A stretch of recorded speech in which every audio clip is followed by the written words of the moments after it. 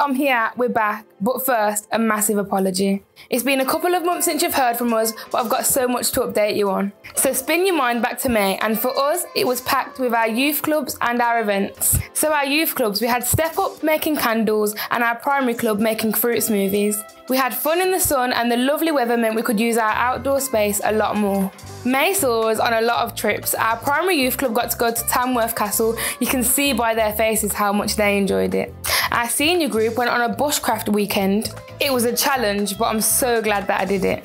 Now our step up group, they got lost in Sutton Park. But we found them and we're back and they had a great time. And we got to do one of our great family trips, family fishing. It's great to get everyone together, parents, families, kids, enjoying the outdoors. May also saw us with a few events, something we're also privileged to enjoy here. Grimeboy came to Free at Last on their community tour. Did you know that was written by Nechells' own Casey Bailey? And Jack, who I'm sure I've spoke about before, he played his first gig. Seeing him on stage was brilliant.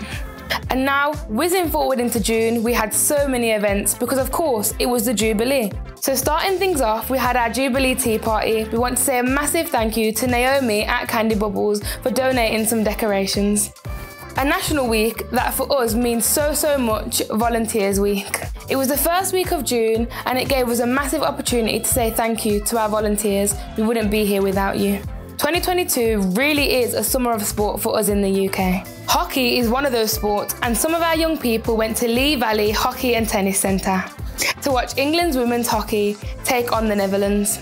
Our young people even got to hold the flags during the national anthem. Talk about proud.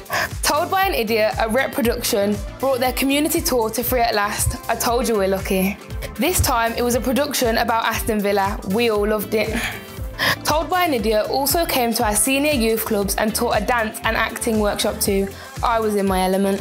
Liam and Sean from our senior youth club joined Greg and John on a hike up Blencathra.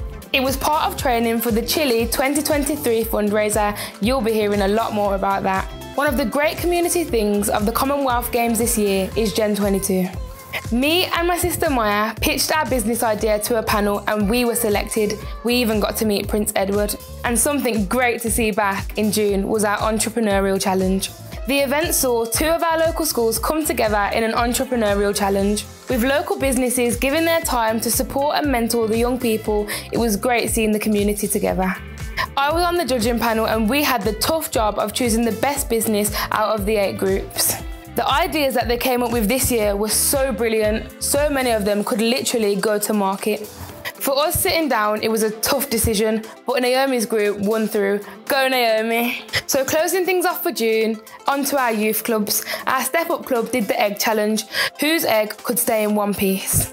They worked together in teams, the rivalry was great, but seeing them work together was really brilliant. For our primary group, it was all about hockey. Hockey Futures have been in club to teach us all about hockey. Who knows? A future captain of England's women's hockey team could be right in this centre. How exciting. Our primary youth club also got a very special visit Perry the Bull. If you didn't know already, he's the mascot of the Commonwealth Games.